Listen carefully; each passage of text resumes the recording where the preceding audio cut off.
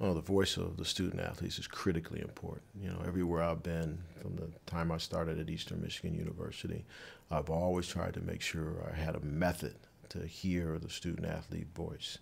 Um, they're the ones who's going through the issues that we ultimately discussed.